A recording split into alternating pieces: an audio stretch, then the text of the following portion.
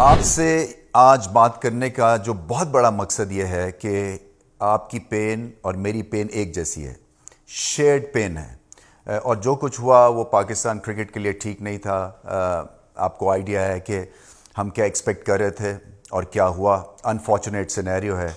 मगर देखिए पॉइंट जो कहने का है, वो ये है कि हम पहले भी ऐसी सिचुएशन से को एक्सपीरियंस कर चुके हैं, मगर हम आगे बढ़े हैं, हमेशा से। हमारे में रिजिलियंस बहुत है, हमारे में कुत बहुत है और वो फैंस की वजह से है, वो क्रिकेट टीम की वजह से है, वो एक जो फाइट टू सर्वाइव है, उसके बेस के ऊपर हम दुनिया को चैलेंज करते हैं। तो इन फिर से चैलेंज करेंगे। अगर ऐसी सिचुएशन कुछ डेवलप हो रही है जहाँ पे इंटरनेशनल क्रिकेट फिर पाकिस्तान में प्रेशर में आ गई है उससे बाहर भी निकल आएँगे और अगर बाहर निकलते भी नहीं है तो हमारे पास इतना गूदा है इतना कॉन्फिडेंस है इतनी ताकत है कि अपने डोमेस्टिक लेवल पे होते हुए हम वर्ल्ड क्लास टीम बना सकते हैं परफॉर्म कर सकते हैं।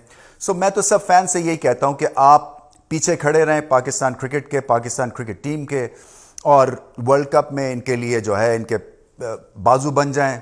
और क्रिकेट टीम को बस मैंने यही कहना है आपके तवसत से एक प्लेटफॉर्म पे कि आपका जो भी एक फ्रस्ट्रेशन है गुस्सा है वो परफॉर्मेंस में निकालें।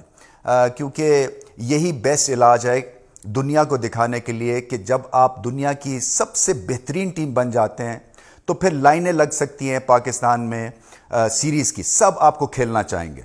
सो मैं चाहता हूँ कि इससे हम सबक भी लें, आगे भी बढ़ें और हिम्मत रखें।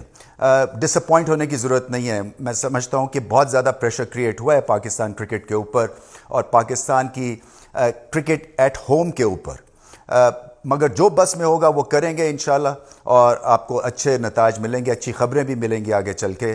पीछे से हम ताकत लगा रहे हैं, फैंस की ताकत और सपोर्ट की ज़रूरत है। पाकिस्तान क्रिकेट टीम को अब दुनिया की बेहतरीन टीम बन के सामने आना है ताकि ऐसे चैलेंजेस से वो बासानी जो है निजात हासिल कर सके और आगे बढ़ सके। सो so, मैं फिर से जो मकसद है मेरा आपसे बात करने का वो ये है कि आप की डिसअपॉइंटमेंट में मैं भी बिल्कुल भर भरपूर जो है उतना ही शामिल हूँ और मैं उम्मीद यही करता हूँ कि आगे चल के हम एक रहेंगे और पाकिस्तान क्रिकेट को आगे लेके जाएँगे।